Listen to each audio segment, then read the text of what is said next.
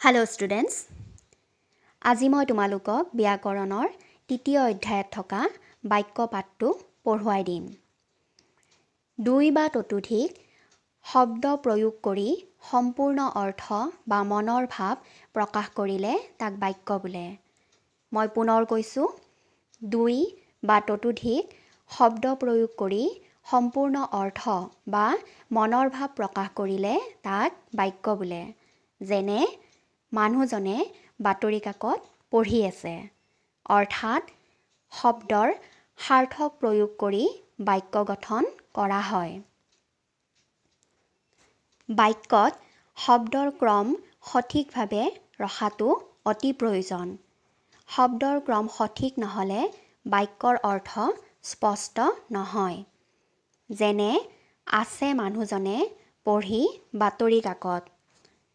ওপৰৰ শব্দসমূহে স্পষ্টকৈ অৰ্থ প্ৰকাশ কৰিব পৰা নাই। গতিকে ই বাক্য নহয়। শব্দৰ সাৰ্থক প্ৰয়োগেই বাক্য। বাক্যৰ দুটা অংশ থাকে। উদ্দেশ্য আৰু বিধেয়। মনত ৰাখিবা বাক্যৰ দুটা অংশ থাকে। উদ্দেশ্য আৰু বিধেয়। বাক্যত যাৰ বিষয়ে কিবা কোৱা হয় সেয়ে উদ্দেশ্য।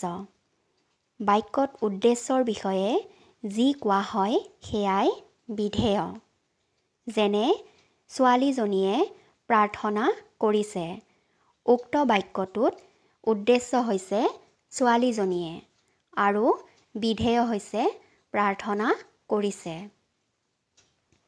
আমি পাঠটোৰ পৰা কি কি শিকিলোঁ অলপ আলোচনা কৰিম। শব্দৰ সাৰ্থক প্ৰয়োগেই হৈছে বাক্য। বাক্যৰ দুটা অংশ থাকে উদ্দেশ্য আৰু বিধেয়। যাৰ বিষয়ে কিবা কোৱা হয় সেয়া উদ্দেশ্য। উদ্দেশ্যৰ বিষয়ে যি কোৱা হয় সেয়ে বিধেয়। আশা কৰোঁ পাঠটো বুজিলা। আজি মই পাঠৰ পিছফালে থকা প্ৰশ্নৰ উত্তৰ আৰু খালী ঠাই পূৰ কৰাখিনি দিছোঁ।